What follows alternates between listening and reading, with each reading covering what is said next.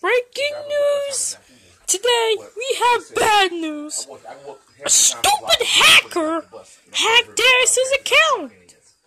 His name is Anthony. Don't you ever hack his account.